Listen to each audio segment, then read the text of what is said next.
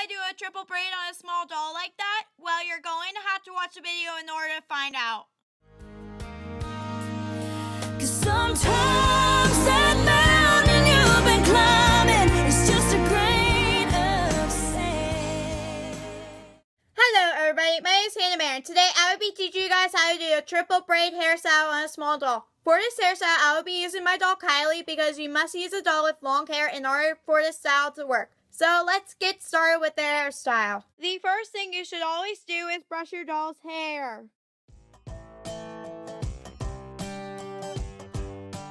Then part her hair into three equal sections.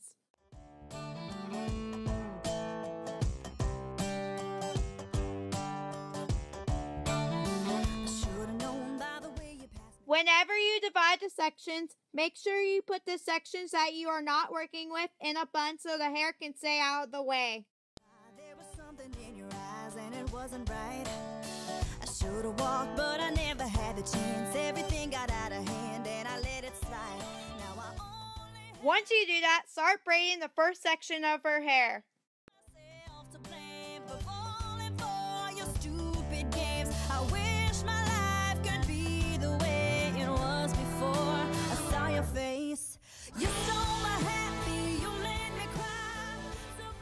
Once you can't braid any more of her hair, tie it with an elastic so it can stay secure in her hair.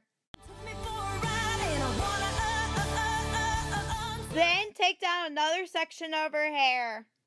You had my heart, now I want it back. I'm starting to see everything you lack. Boy, you blew it. You Once you do that, start braiding the second section of her hair.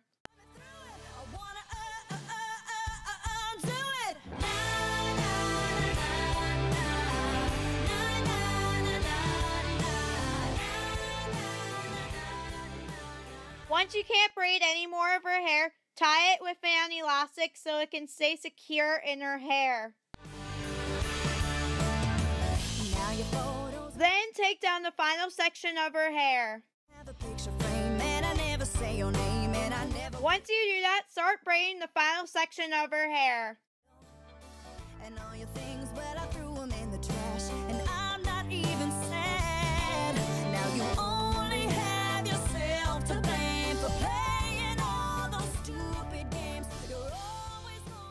Once you can't braid any more of her hair, tie it with an elastic so it can stay secure in her hair. Once you have braided all three sections, then do another braid. But this time, instead of taking another section of your hair, take the sections that you previously braided and combine them into one giant braid.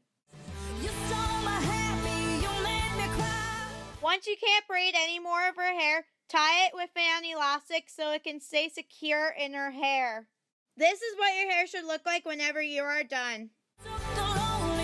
Okay, so if you want a shout out in my next week's video, please comment below what kind of hairstyle would you guys like for me to do next on my dolls and which doll would you guys like for me to try to